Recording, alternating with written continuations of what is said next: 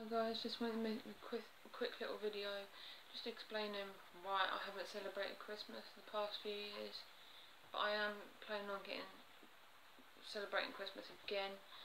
Um, just because like whenever I try and make plans for like doing something at Christmas, something always always seems to happen. Like this year, it's my granddad in hospital like a couple of years ago with my mum and like seven or eight other family members passing away. And so yeah that is the main reason why I don't celebrate Christmas. It's just because like bad things keep happening around like the November December time. And yeah. Um, so oh, excuse me.